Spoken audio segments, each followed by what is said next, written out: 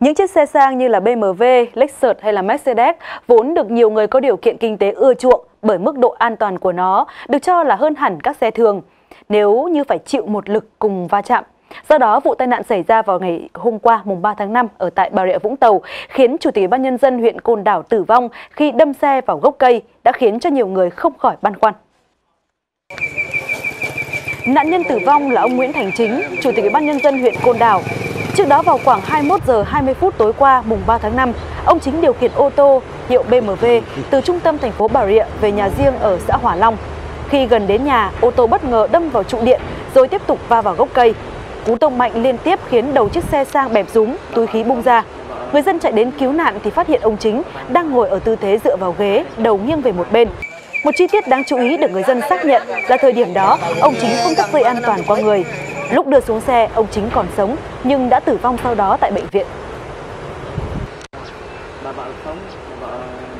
Hiện tại thì ờ, vụ tai nạn vẫn đang trong vòng điều tra để làm rõ nguyên nhân. Song nếu như mà thông tin từ người dân có mặt tại hiện trường là đúng thì ông chính đã không hề thắt dây an toàn, tức là chốt dây chỉ chốt lại và sau đó ông để ở sau lưng ghế chứ không choàng qua người của mình. Và điều này có lẽ sẽ lý giải cho thắc mắc của nhiều người là vì sao một chiếc xe hạng sang như BMW phần va chạm vào cây chưa chạm tới cabin và túi khí đã bung ra mà tài xế thì vẫn tử vong. Vâng, thực tế thì có rất nhiều người điều khiển ô tô không muốn thắt dây an toàn cho nên giống như anh vừa miêu tả đó là cắm sẵn luôn dây vào khóa để đánh lừa cảm biến để xe sẽ không báo đèn và kêu chuông cảnh báo. Thậm chí là có người sử dụng còn sử dụng một miếng kim loại có hình dạng giống phần đầu của dây an toàn để đánh lừa xe nữa. Vâng, hình ảnh ở phía sau chính là một cái thiết bị được bán phổ biến ở trên thị trường giúp cho nhiều tài xế sẽ à, qua mặt được cái cảm biến nó không kêu đúng không ạ? Và không có dây an toàn mà khi va chạm thì thân người chắc chắn sẽ lao về phía trước theo một quán tính rất lớn. Ngực của chúng ta sẽ đập vào vô lăng và đập mặt vào túi khí khi vừa nổ hoặc là đâm đầu vào kính lái nếu mà túi khí không nổ